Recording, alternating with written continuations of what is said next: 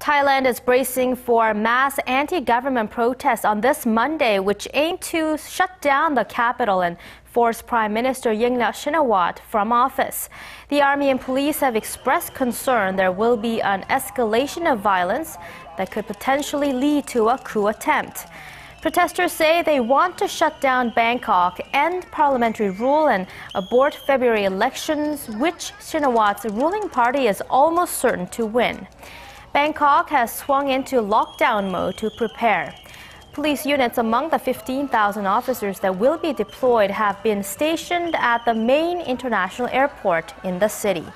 Hundreds of schools in the capital have canceled classes, and major retailers are stocking up on essential supplies.